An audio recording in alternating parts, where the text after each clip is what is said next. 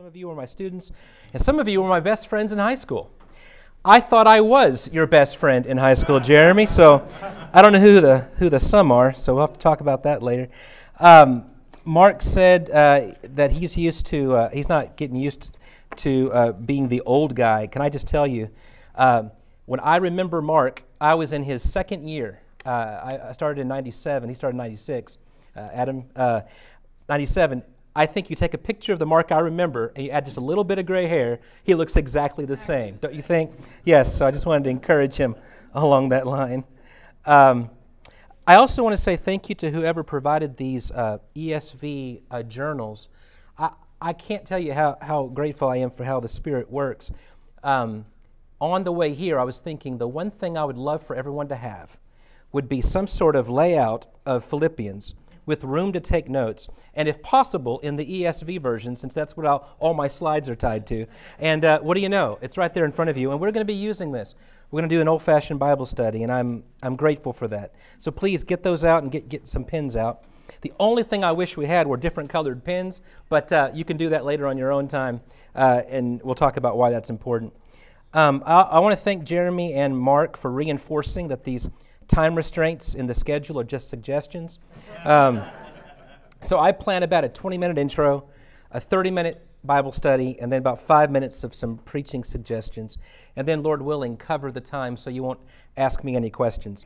Um, and, and, I'm grateful to be with you, with you preachers. Uh, you know, the, the most preacher like thing Mark said in his speech was, I was thinking of this uh, in the car on the way down here. Um, I love that line. And then, of course, the slide that said marriage or the church. And I thought, yes, preachers struggle with that debate all the time.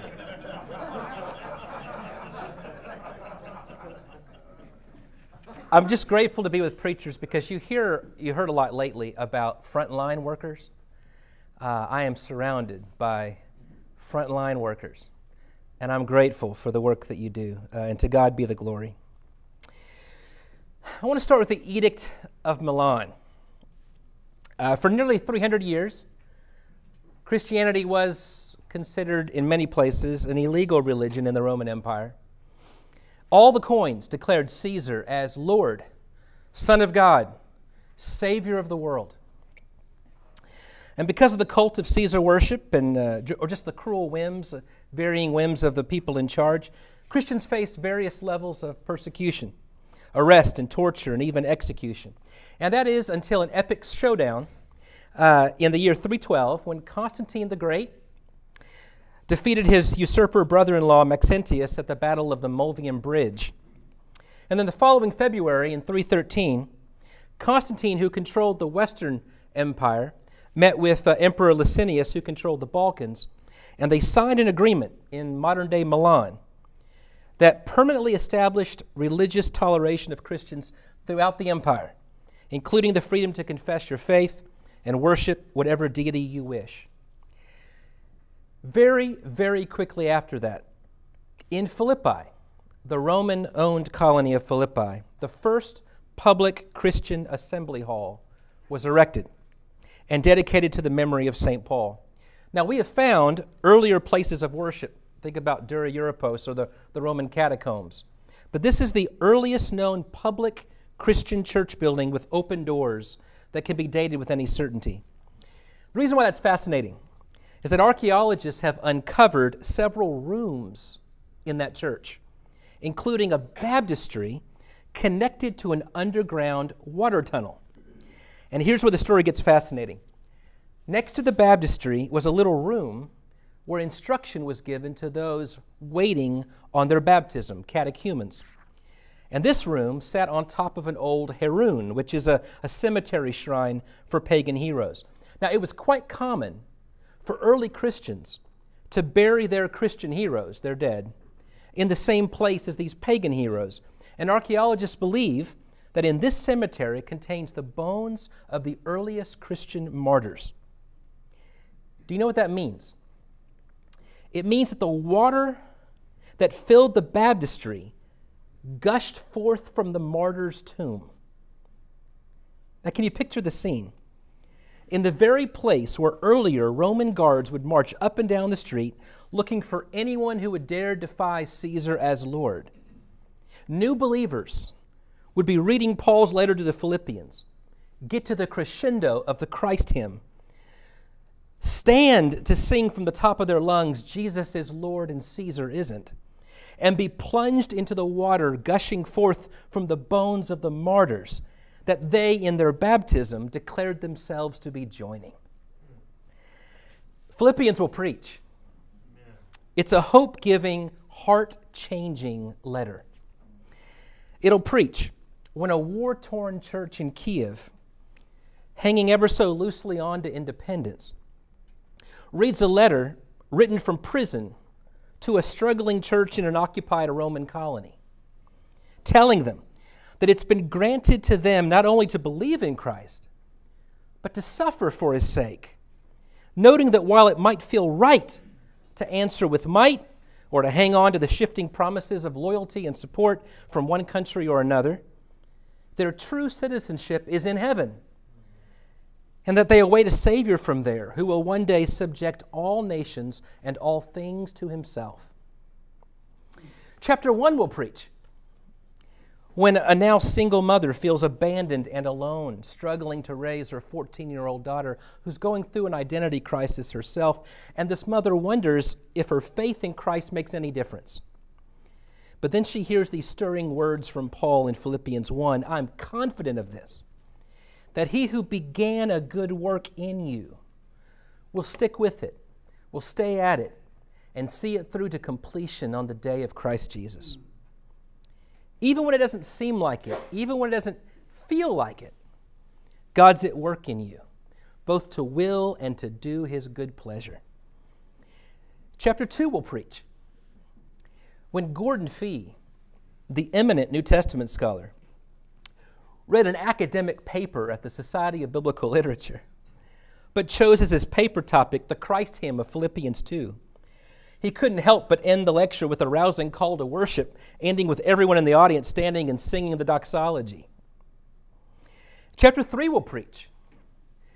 David Lipscomb, the venerate preacher and editor of the Gospel Advocate, known far and wide for taking firm stands on controversial issues. And the man with, with all the answers, he was the Bible answer man and the gospel advocate. Sat down to write a commentary on Philippians, and he came to chapter 3 and read about the hope to receive righteousness not of my own, but that which comes through faith in Christ. He was moved to write these words even when a man's heart is purified by faith and his affections all reach out towards God and seek conformity to the life of God, it is imperfect. His practice of the righteousness of God falls far short of the divine standard. The flesh is weak, and the law of sin reigns in our members so that we fall short of the perfect standard of divine righteousness. But if we trust God implicitly and faithfully endeavor to do His will, He knows our frame knows our weaknesses, and as a father pities his children, so the Lord pities our infirmities and weaknesses and imputes to us the righteousness of Jesus Christ. So Jesus stands our, as our justification and our righteousness, and our life is hid with Christ in God. Just a few verses later, where, where Paul states, Only let us hold fast to what we have attained Lipscomb was given the opportunity to fill the page with references to all the hard and fast truths that he so ably debated over the years. But a different spirit moved him. If some have learned more than others, wrote Lipscomb, those who have learned the more must be patient and forbearing, striving to help all to learn more and more of the divine truth. None of us have learned the whole of that truth. Those who know least frequently assume that they know it all and are the most dogmatic and exclusive. And when one thinks he knows all of divine truth on any subject, he knows nothing as he ought to know it. The man who has the most faithfully studied the Word of God realizes what a mine of precious truth there is yet to be found in its sacred treasures. Let each learn all the truth he can, weigh all the difficulties, Look upon every side of the question. Teach to others what he learns.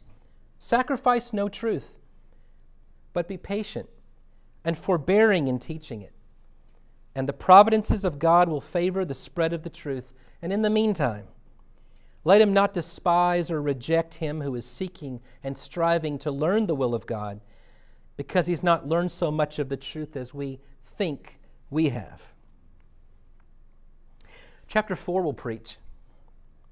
Paul concludes his letter urging his beloved, his beloved brothers and sisters to stand firm in the Lord, to help one another agree in the Lord, and to let your kindness or your patience or your forbearance be known to all men. In 1958, while on a speaking tour, Martin Luther King Jr. was nearly killed when he was stabbed by an assailant in Harlem. It was almost as if he was expecting it, because in March of that year, Dr. King gave these stirring words We know that sacrifice is involved that brutality will be faced, that savage conduct will need to be endured, that slick trickery will need to be overcome. But we are resolutely prepared for all of this. We are prepared to meet whatever comes with love, with firmness, and with unyielding nonviolence. Paul knew that the dream, the hope, did not always match lived reality. Our hope is eschatological. And th- that's why he writes in the next verse, The Lord is at hand. Drawing inspiration, MLK gave another memorable speech in Montgomery in 1965. I come to say to you this afternoon, however difficult the moment, however, however frustrating the hour, it will not be long because truth crushed to earth will rise again. How long? Not long, because no lie can live forever. How long? Not long, because you shall reap what you sow. How long? Not long, because the arc of the moral universe is long, but it bends toward justice. How long? Not long, because mine eyes have seen the glory of the coming of the Lord. I guess my point is that when you're preaching Philippians, may I suggest to you that the first thing you ought to do is be inspired.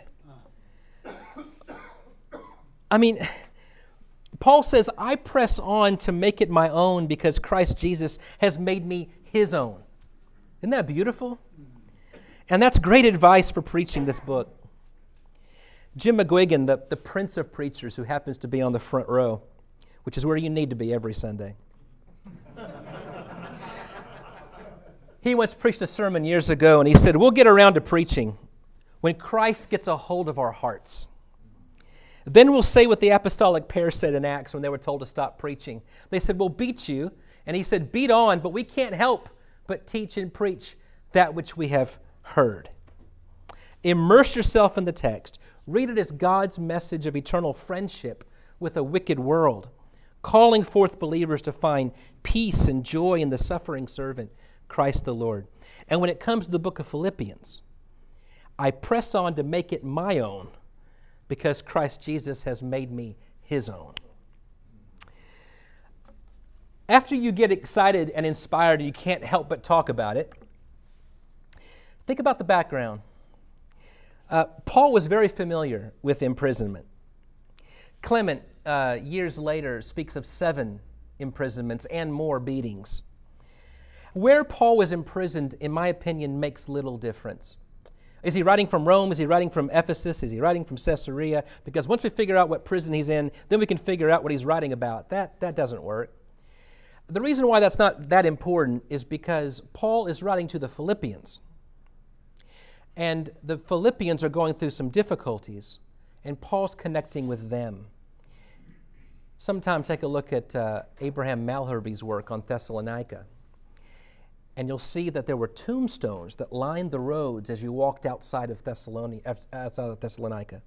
And those tombstones had sayings on them, like, My life has gone out and sounded forth. And Paul, trying to think about how to write to a struggling church in Thessalonica, rips the lines right off the tombstones and then changes the way they think and says, Your faith has sounded forth. And he does that all through the book. He speaks the language of the people he's writing to. Keep that in mind for a second.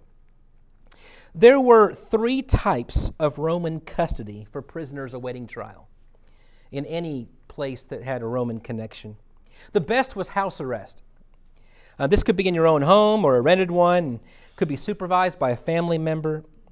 It usually allowed freedom of mobility and uh, reserved for senators and the very rich and the elite in society.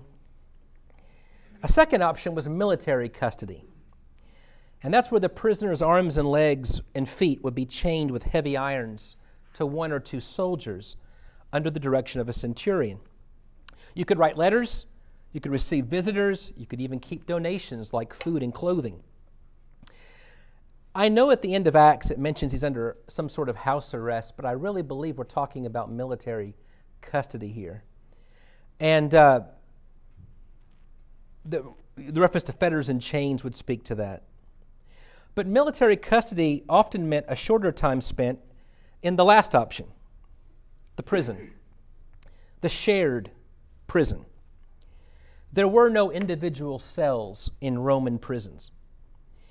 One ancient writer said that there were 248 men and 48 women who shared a single prison.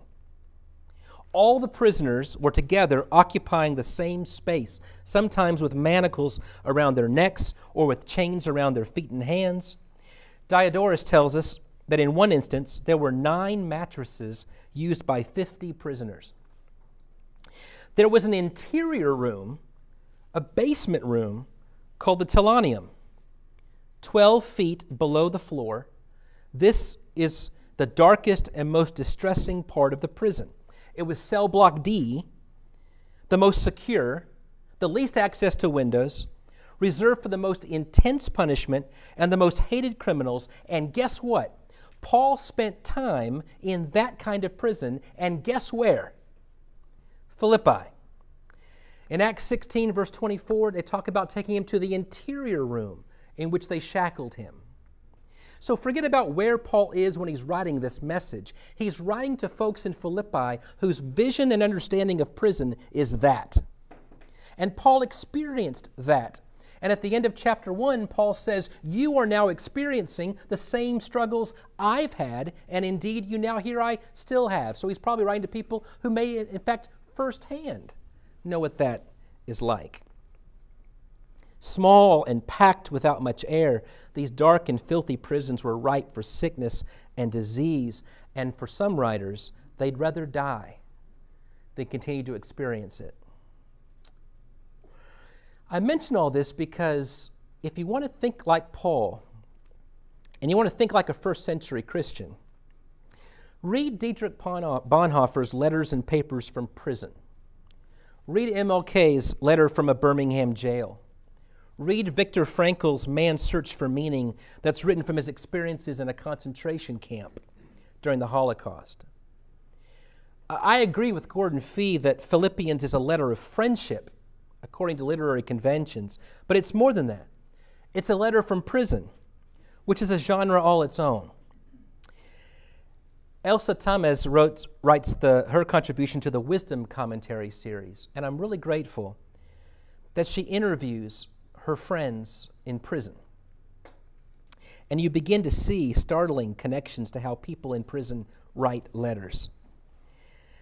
During the uh, dictatorship in Uruguay in the late 70s and early 80s, one writer summarizing all the prison letters he was reading says this At first thought, nothing seems as fragile as a sheet of paper.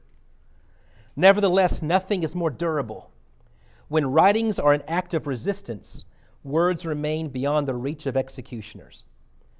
In the closed universe of prison, writing had to be reinvented. It was born between sessions of torture with a vocation to bear testimony, growing in the solitude of the cell where there were only memories and sheets of medical instructions. Even more to the point, Thomas says that prison is a theological location for Paul. People who spend years in prison don't just talk about an experience they had, it shapes how they see themselves. It changes your identity. And for Paul, Paul tries to get the church to reimagine the world as a prisoner for Christ. Think about it. A prisoner cannot rely on self help, he can only wait for help from a higher power. And he calls for us to cry out for deliverance. A prisoner can't place his confidence in society's laws or about being superior to others. You're, you're all common criminals in the jail cell. And you can't take anything with you, you leave it all behind. You hear echoes of chapter 3 there, don't you? And what do you need most? What things could you most hope for? Grace and peace and mercy and a visit from a friend and some encouragement.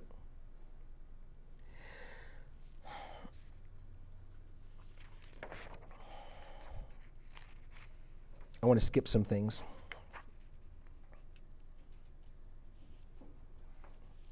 And so, Paul's using language in Philippians that may have crossed his own mind, but certainly would have crossed the mind of those to whom he's writing, or that would have been echoed in the prison walls of the city. You read chapter 1 and you hear language about staying or going, dying or, or living, and it reminds you of Socrates' oration as he drinks the hemlock, but it also sounds like a common occurrence in a Philippian prison cell. But Paul reframes the experience to his partners who share in the fellowship of suffering. He speaks proudly about how it helps him know Christ better and connect with others, and participation in the Spirit and participation in the gospel is to suffer together. And so, even if my life is to be poured out as a drink offering, it will be for the better. Because in doing this, I know Christ Jesus, my Lord, in ways I never would have otherwise. The third thing is uh, oh, by the way, uh, read all these books. Okay, uh, these slides these slides will be available for you afterwards. Third, adopt some theological lenses. It's my it's my suggestion, my contribution for today. There's, there's long been a rift between biblical studies and systematic theology, but that space is closing. And uh, for that, I thank God. For a century in the academy, biblical studies forced readers to think smaller and smaller, asking questions like uh, Is Philippians really uh, three letters and not one? Just so you know, critical scholarship will tell you that letter number one from Paul is chapter 4, verse 10 to verse 20. And letter 2 from Paul is chapter 1, verse 1 to chapter 3, verse 1, and chapter 4, verses 2 through 9.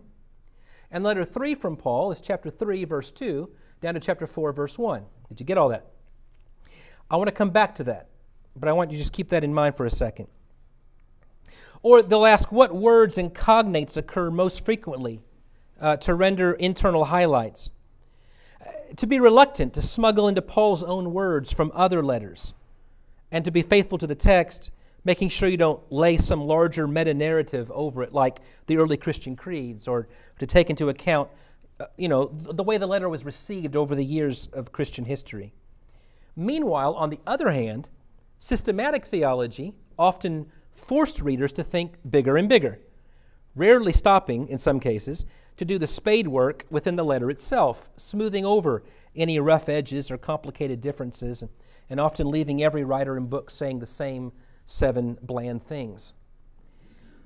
But I'm loving what I'm seeing now from both directions. Uh, there are theological commentaries on the Bible written by historical and systematic theologians who bring their training to bear on a close reading of the book. John Mark did one of these uh, in writing in Chronicles. Uh, these include George Hunsinger's uh, Brazos commentary, which uh, Paul Norwood now has, and you all can fight him for it, uh, or Daniel Migliore's 2014 uh, Belief commentary. They are unashamed to approach the book canonically, to look for how the book helps elucidate the central truths of the historic Christian faith and how it feeds into the historical debates within the Christian church. They're honest with the text, and they're asking what the text is saying, but even more importantly, in my opinion, how the text speaks to the whole structure of what Paul was getting at in every sermon. And from the other side, you have biblical, theolo- biblical scholars like uh, Lynn Cohick or, um, or uh, uh, Bird, um, Michael Bird, who are writing with theology in mind. And I see this lovely connection happening. And so, uh, may I suggest, uh, and this is just my, my approach, um, that we talk about Philippians in the next 30 minutes or so with theological lenses, thinking about how Philippians contributes to the larger story of God that is the heart of every sermon in the New Testament. You could start in a number of places. You could look at the seven ones of Ephesians 4, which turns out to be the seven themes that appear and reappear in every major speech in the book of Acts. They're also the basic outline for the Apostles' Creed or the Nicene Creed. They represent the table of contents in any book on what Christians believe. And so, uh, since we received the letter of Philippians not in isolation, but as part of the canon, that tells a unifying story of the church, I begin by asking what light does Philippians shed on the Christian gospel that every sermon I give should ultimately be about? In my opinion, if you preach Philippians and people don't know God better, you have failed to preach Philippians as Paul intended it. If you preach Philippians and the students who are listening to you don't know who Christ is or what the gospel is or what it means to be the church better, then we failed to preach Philippians as Paul intended. So let's start with God. And now we're going to do some um, Bible study. This print is terribly small, but what I'd like you to do is to open up the, the, the, the sweet little book that was provided for you, and with a pen in hand, you may just want to circle or highlight or put a block around certain key words or verses. And over to the right, maybe write G for God, and we're going to look at these seven themes as we or as they show up in the book of Philippians. My phone is dead. Uh, could somebody tell me what time? Or I'm not going to turn it on for reasons already mentioned. Uh, what, what? 151. 151. Great. I'm way behind. All right. We start with God. We know that God exists in three persons Father, Son, and Spirit. But Son and Spirit have their own specialty areas Christology, pneumatology. Theology proper wants to begin by asking who is the one whom Jesus is praying to, the one who, who sends the Spirit? And in the Christ hymn of chapter 2, we learn that Jesus was equal with God, but emptied himself and assumed the form of a servant. So it becomes clear, first of all, chapter 2, verse 6 will be the first place you want to draw a line. God in Philippians is the highest. And it's implicit in chapter 3 and verse 20 that he makes his abode in heaven. That's where the Savior comes from. Now, it would be easy to assume that God, the highest in the heavens, is some remote, distant deity who does nothing but creates and judges. But Philippians tells us he's our Father. Chapter 1, verse 2, and several other places. And what do we, what do we receive from the Father? Grace, verse 2. Peace, verse 2. In fact, in chapter 4, verses 7 and 9, He's the God of all peace. Wisdom, chapter 3 and verse 15. Mercy, chapter 2 and verse 27. An abundant supply, chapter 4 and verse 19. In fact, God supplies your every need according to the riches that are in Christ Jesus. In chapter 3, in verse 9, we find our righteousness in God. In chapter 1 and verse 28, we find our salvation in God. These are gifts from God. And thus it is His upward calling, God's upward calling, for which we strive. And what has God done according to the letter to the Philippians? Well, in chapter 2, verse 9, he exalted Christ after his death and his resurrection, giving him a name that is above every other name. And then you say, Yes, but what has he done for me lately? Three things. First of all, he has been with you. Chapter 1, verse 6 he began a good work in you. He's going to see it through to completion. He has been with you. Second of all, He is with you. Chapter 2, verse 13. He's at work in you, both to will and to do his good pleasure. And then number three, he will be with you. Chapter 4, verse 9. The God of all peace will be with you. Our God is a deliverer. Chapter 4, verse 6, he hears our prayers. Chapter 2, verse 27, he has mercy on the ill. Chapter 1, verse 19, he delivers from death in prison. He reveals his wisdom to those who seek to be wise. He guards our hearts and minds in Christ Jesus, and he supplies every need. That's our God. Now, what's our response to that merciful God of peace, the God of all glory? Well, first of all, verse 3 thankfulness. And not just that, it makes us unafraid. Look in verse 28. It makes us unafraid. And in chapter 4, verse 6, it makes us less anxious. And for those reasons, we, we're called to let God know what's on our hearts. We're called to obey Him. Chapter 2, verse 12. We're called to give Him all the glory. Chapter 4 and verse 20. I'm going fast, but I want you to see Philippians tells us who God is. And what about Jesus Christ? Oh, look at that. I missed a slide. Uh, what about Jesus Christ? It's very hard not to be a Trinitarian when you're reading Philippians. After all, there's only one Lord. The Old Testament makes it abundantly clear there's one Lord, and besides me, there is no other. And the word Lord does not permit for shared, status, for shared status. Just ask Caesar. If Caesar's Lord, no one else can be. And yet, Philippians presents Jesus Christ as both Lord and Savior. He clearly labels him Savior in chapter 3, verse 20. And he names him Lord six times, starting in verse 2. That forces the reader to keep Christ in mind every time Paul refers to the Lord. In the Lord, we place our trust, 224. In the Lord we have confidence, 114. We rejoice in the Lord. We stand firm in the Lord. We agree in the Lord. The phrase, the Lord is at hand, is parallel to the long expected day of Christ in verse 6. Our Lord and Savior is Jesus Christ, and Caesar isn't. And Jesus is the object of our confession, and not ours only. Every tongue in heaven and on earth and under the earth and he has the power to subject all things to himself. And yet, he foregoes power for service. Our Lord and Savior, though equal with God, emptied himself, took upon himself humanity, and humbled himself even to death on a cross, but death couldn't hold him.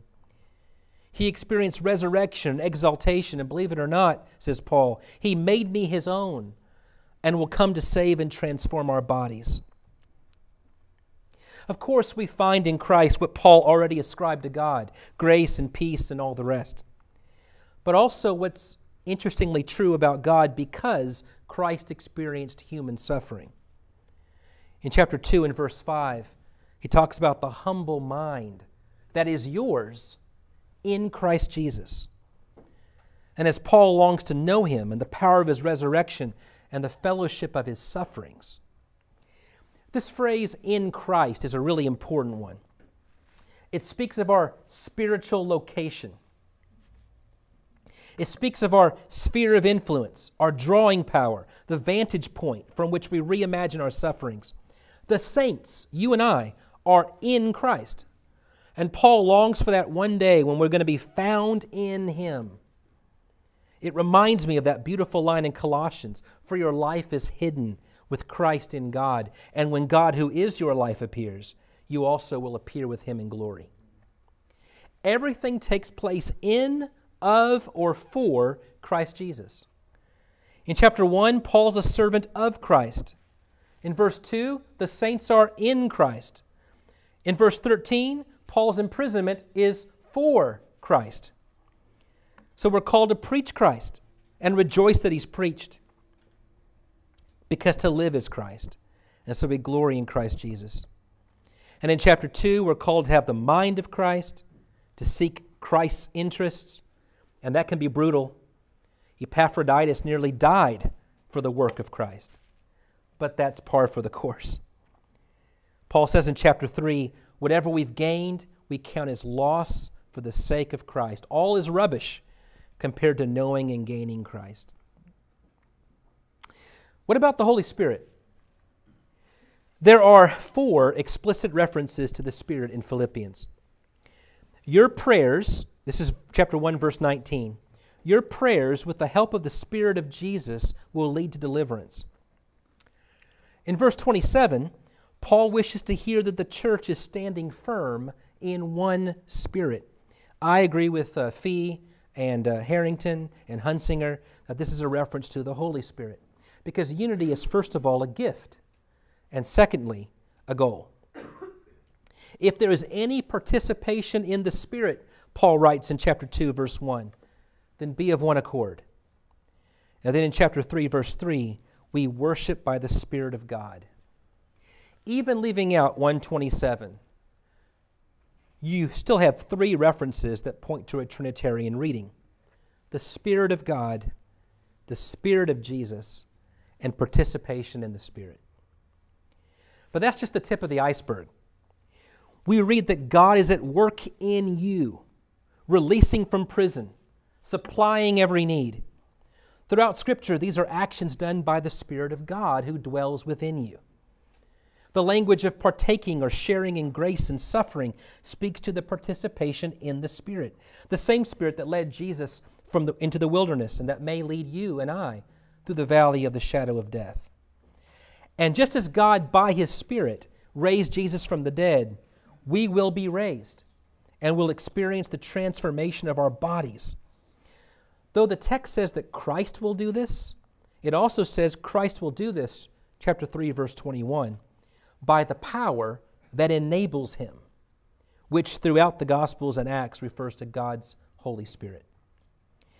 Paul calls the church to grow in spiritual fruit and to use spiritual gifts leading up to the day of Christ. This language is used elsewhere in Paul for what it means to be led by the Spirit. We see the fruit of the Spirit listed like love and joy and peace and forbearance, which covers patience and kindness and gentleness. We see implicit calls to self control. We see reference to the attitudes quickened by the Spirit, like boldness and courage and being unafraid. Just as Paul says in Galatians, if we're led by the Spirit, let us walk by the Spirit. Paul calls us to press on. That's no self help language, but to walk according to the good example set before us. What about the one faith, the Christian story, the gospel of Christ? We can start by seeing the obvious the message about Christ is Christ. Chapter 1, verse 15 preach Christ. Verse 21 to live is Christ. The goal, chapter 3, verse 8, is to gain Christ, to know Him, to be found in Him. But it's not just an exalted, powerful Christ that we come to know, it's the one who chooses the cross as a way of life It's told dramatically in chapter 2. And we're warned against those who live as enemies of the cross of Christ. Chapter 3, verse 18. So the gospel for Paul is of a suffering servant who's now Lord of all, and in whom we find our life, our purpose, and our being. And that's a message that needs to be shared. And so Paul is placed in prison for the defense of the gospel.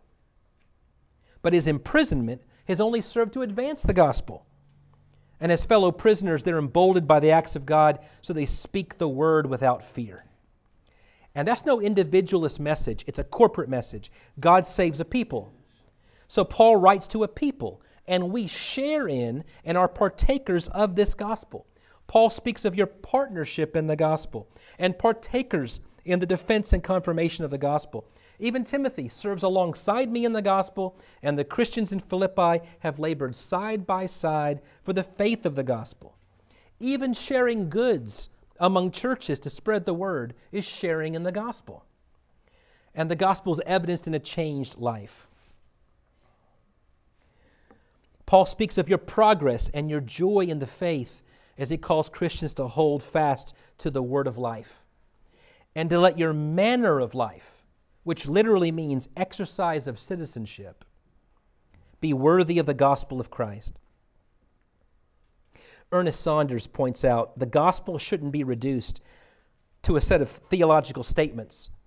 It calls for a transformed way of being and doing, not just thinking. And if the gospel is Christ, let it be the full Christ that we see portrayed in Philippians. And the gospel calls for a response. You can take a picture of that if you want to have to move on. The gospel calls for a response. I'm always weary of smuggling in, into passages things that aren't there. But I trust the ancient lens that tells us that one baptism is truly present when the Christian story is told.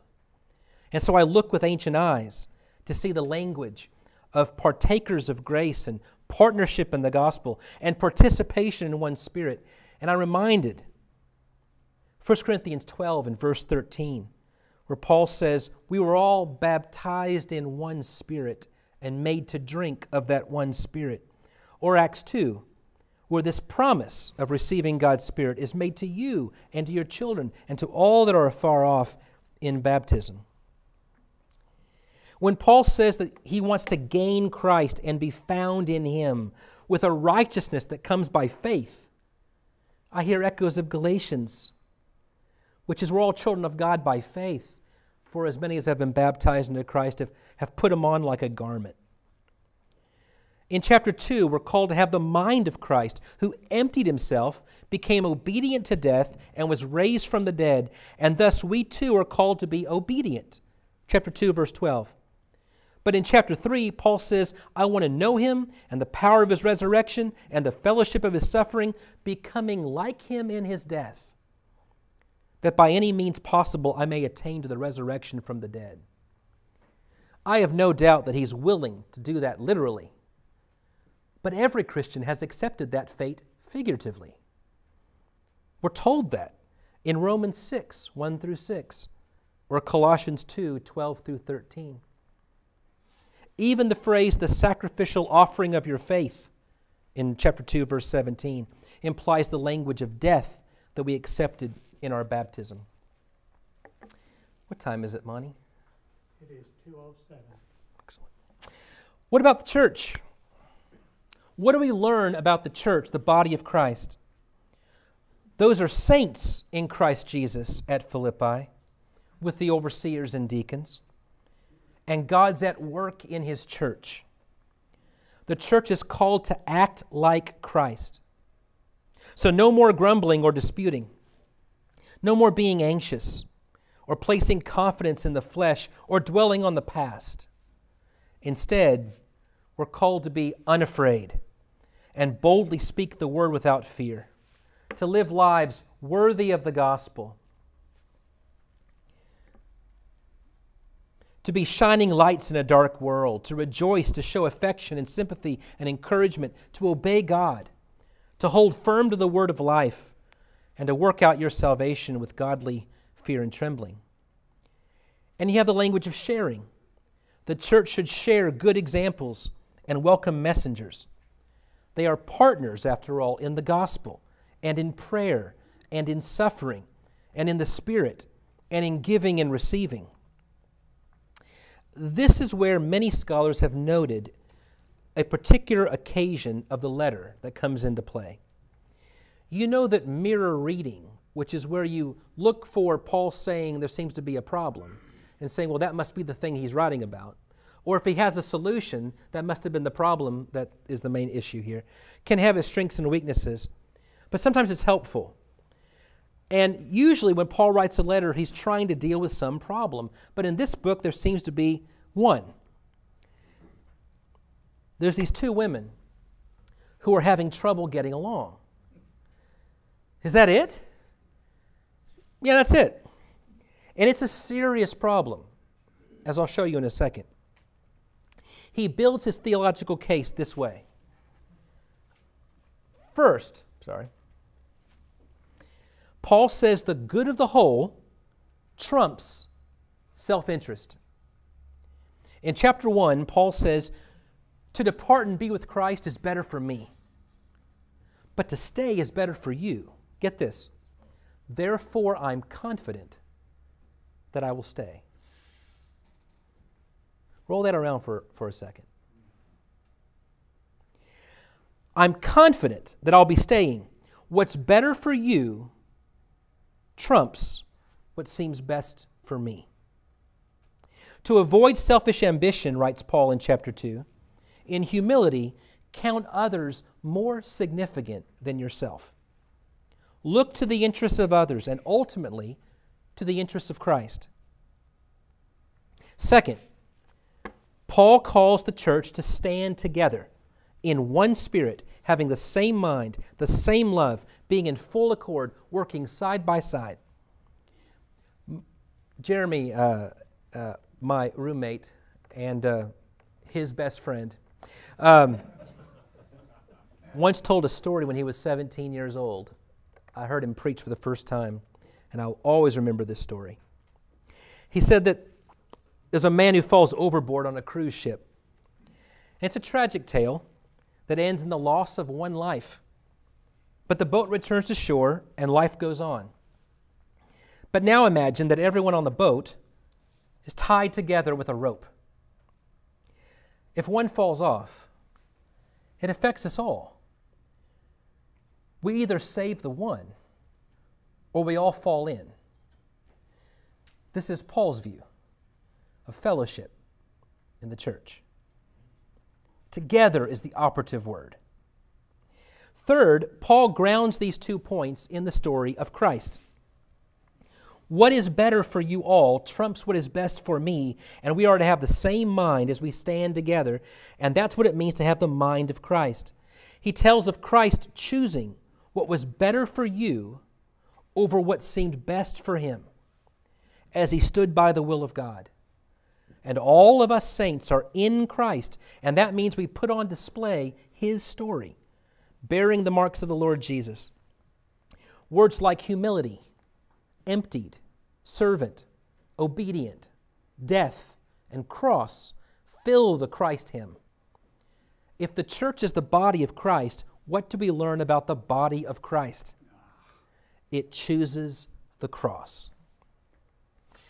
Fourth, Paul contrasts the gospel of the cross with everything else that could be claimed as its rival. Every yeah, but gets laid aside.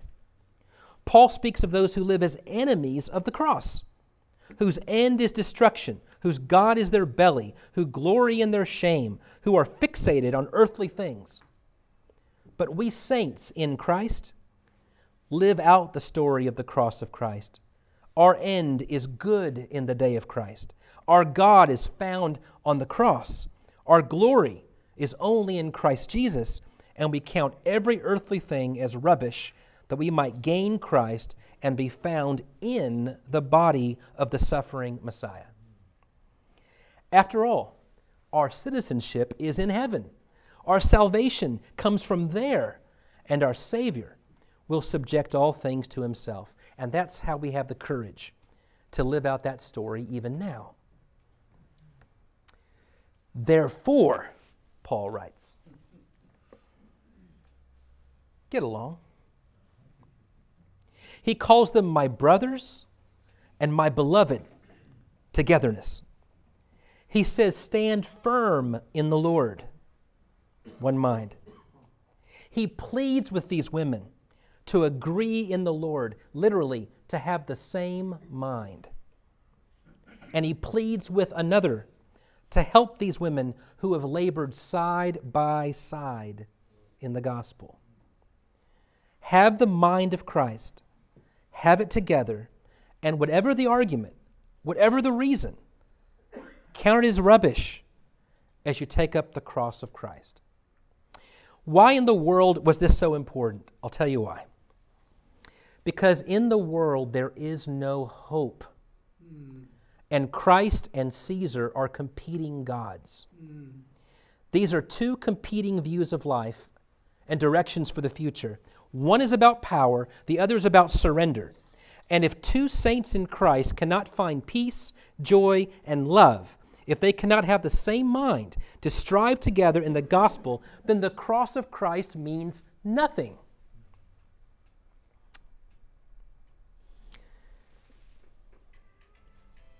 We come finally to the one hope.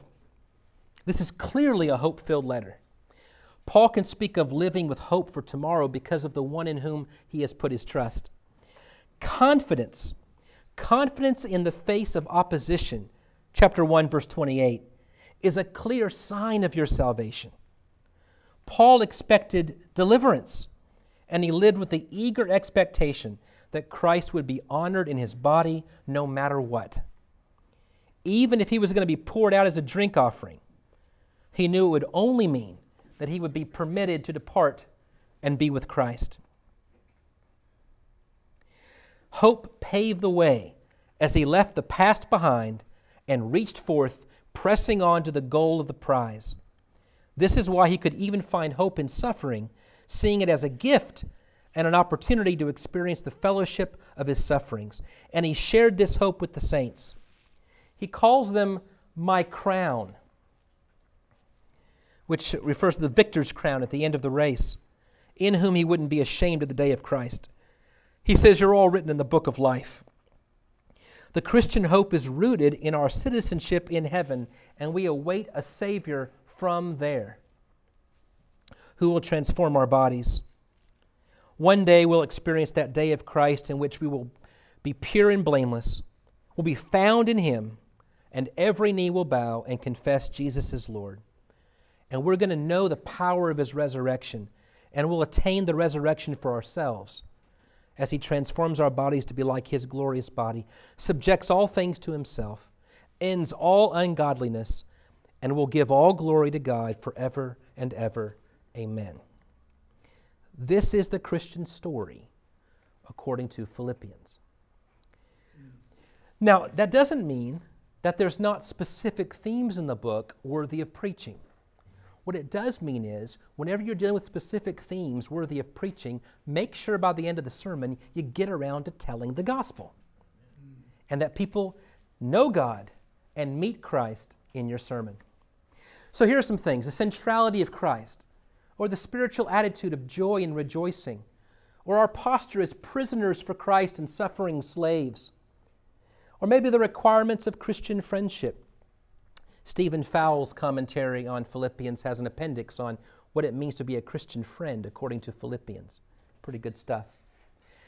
Or partnership and sharing as the community of Christ. Here's a nice three part sermon against self centeredness. I earned my own salvation. Well, read chapter 3. I was already perfected. Read the rest of chapter 3. I'll do whatever pleases me. Read the end of chapter 3. Or maybe what is involved in having the Christian mind. Or contrasting the gospel with everything else. But you see, all of these are opportunities to remind people of the central truths of the Christian faith, from which Paul gains his emphasis and his interest for his theology and his um, uh, practice of the faith. I told you at the beginning that critical scholarship seems to say that originally uh, Philippians was three letters. I don't know what you think about that. I, I, think most preachers, when they hear that, do one of three things. Number one, toss it. Uh, it's not going to preach. Who cares? Let's move on. And if that's your view, that's fine. Second view is to fully embrace it and then to try to use the pulpit as an opportunity to sound like you really read these German folks a lot. And uh, if I can name all the numbers and where the breaks are, I sound pretty smart. I think the third option is to use it in the service of your preaching by saying whether or not it was originally three letters, at least these critical scholars are helping us find seams, which help us locate literary units. And if that's the case, I need to step back and say, that's interesting. What would be the three centers of the book if we're dealing with three sections? And what I find is in uh, letter number two, which is 1 1 through 3 1 and 4 2 through 9, I see Jesus as Lord. And if He's Lord, it requires us to respond the way He tells Euodia and Syntyche to respond. And then in letter 3, which is chapter 3, verse 2 through chapter 4, verse 1, I see that Jesus is Savior. See, if He's Lord, then He commands my response to serve like Him. And if He's Savior, then I've got reason to talk about how I can count everything as lost because I'm going to be found in Him and have His righteousness, and He's going to come back to save me. Okay, I saw those, but now I'm kind of forced to think there must be something to chapter 4, verses 10 through 20, which I originally thought was an afterthought. But if that's letter 1, then I need to step back and say, well, okay, what can I do with that? And here's what I see. It's kind of weird. It begins with, hey, by the way, thanks for the gift, not that I needed it, but uh, I used it. Thanks for joining me in the gospel. See you later. Is it possible that the third central point here is that sharing in the gospel has tangible fruit?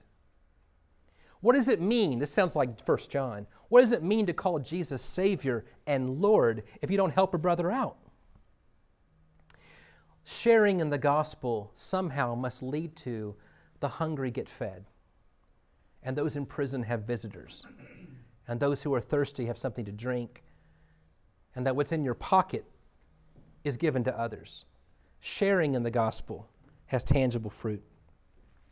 Well, my time uh, is over. Uh, when you plan out your preaching, I have nothing to offer you except what I've found is a couple of good books. I want to recommend some. Uh, it's in the bibliography. Uh, Ernest Saunders' little Knox preaching guides is uh, magnificent. Really, some great uh, sermon starter ideas. And the other is uh, Moore and Sprinkle's Carrick's commentary. The first 20 pages, they lay out kind of section by section sermon ideas and sermon pointers for each section of Philippians. It's really valuable and helpful, and I recommend those to you. But then the last thing you should do is to put some so what action items to your sermons. Uh, what does God want us to know and believe? What does God want us to do? And what does He want us to become? And I want to suggest that if you're using Philippians as a whole, here would be Paul's answers.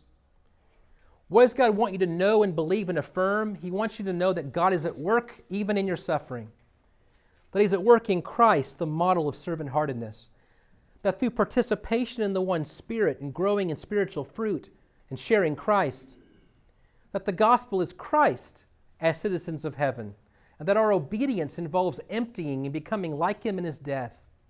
And as his body, we imitate the cross shaped life, standing firm side by side with one mind, and we share the one hope of our Savior from heaven, longing for the day of Christ. What does he want us to do? He wants us to join Christ in his life and work, to pray more and dispute less to find joy even in suffering, to serve the needs of the body above my own interests, and to partner with the Spirit in the church to the glory of God. And what does He want us to become? He wants us to grow more loving, more joyful, more peaceful, more patient. He wants us to be led by the Spirit of Christ to become more and more like Christ. Let me end by borrowing another story I heard from McGuiggan who I think he heard it from someone else, maybe. That one day we're going to be in heaven, and the angels are going to be looking at us and pointing at us and talking to each other. And we're going to shuffle over to hear what they're saying because nobody likes to be pointed at and whispered about. And we're going to overhear them saying, Wow, doesn't he, doesn't she look just like Christ? Isn't that beautiful? Isn't that beautiful? Our hope is secure. Our future is certain. And we're going to look just like Him. Let's look at each other through that lens. And let's be the people of God. Let's pray. God, we love you. We thank you for your book of Philippians. Teach us to be like you. In Jesus' name, amen. I hope I covered up all the Q&A time because I've told you everything I know about Philippians. what time we have? You actually have 10 minutes for oh, questions and answers. Okay, 10 minutes.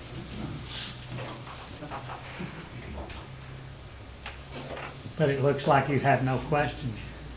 Thank you. I've got one. Barry. Have you ever heard of the theory, and I can't remember which one, that between Euodia and Syntyche, that one of them was, was Lydia, the first convert in Philippi? It's funny you say that, and I don't have an answer on this, but Okay. um, Elsa Tamez, in her wisdom commentary, says the loyal yoke fellow is Lydia. You know, the other person to help these two women. Uh-huh. Um, sometimes we, we, we draw conclusions from what little we know, and we, we make things fit, and maybe they do. Um, I don't know what to think about that.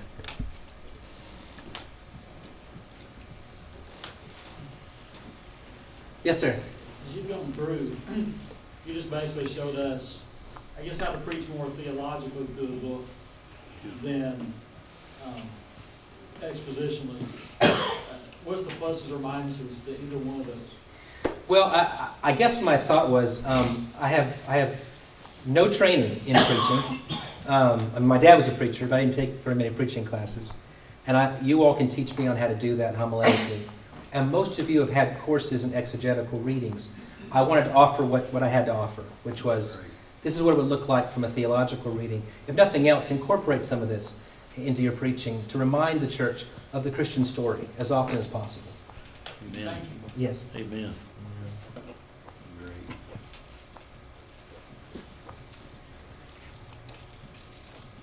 Thank you all. God bless. I've enjoyed being with you. Thank you so much.